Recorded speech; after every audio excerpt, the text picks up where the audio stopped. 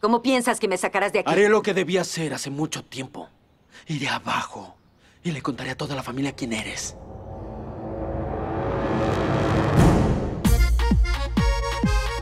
Avenida Brasil. Fuiste a mi casa para vengarte de mí.